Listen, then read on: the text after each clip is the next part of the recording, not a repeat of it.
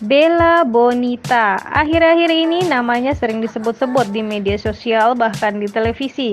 Bagaimana tidak, sejak dinikahi oleh penyanyi sekaligus penulis lagu Denny Caknan, wanita cantik ini makin terkenal dan membuat publik penasaran.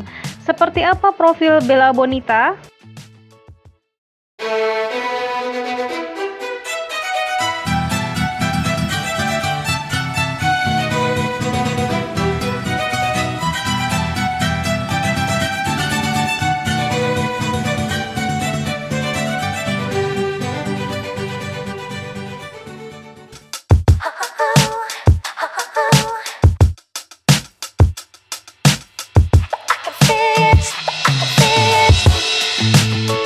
Bella Bonita, nama aslinya adalah Bella Bonita Ronvik, lahir di Madiun pada 17 Desember 1998. Dirinya lahir dari pasangan Yosi Hutomo dan Agus Hutomo. Ia memeluk agama Islam.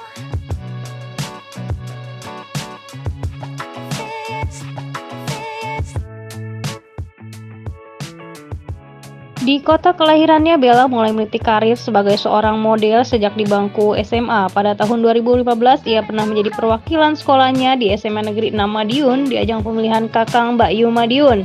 Di ajang tersebut, Bella berhasil menjadi salah satu pemenang.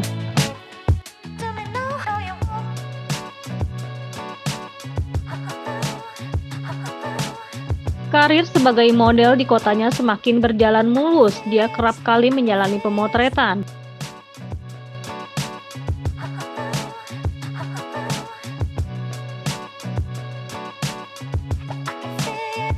Selain menjadi model, dia juga diketahui acap kali terlibat dalam kesenian ludruk.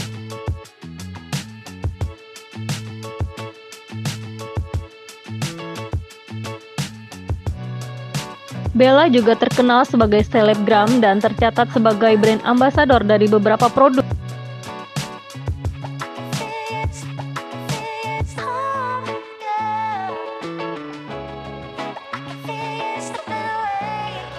Bella pernah menjadi model video klip lagu Lost Doll karya Denny Caknan pada tahun 2020. Kemudian Bella kembali terlibat dalam pembuatan video klip dan mini series karya Denny Caknan yang berjudul Kasih Walasku pada tahun 2022.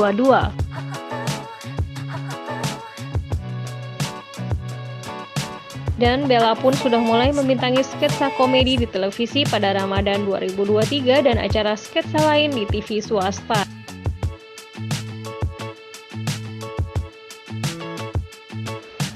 Seperti itulah sekilas profil tentang Bella Bonita. Semoga mengurangi rasa penasaran kalian ya.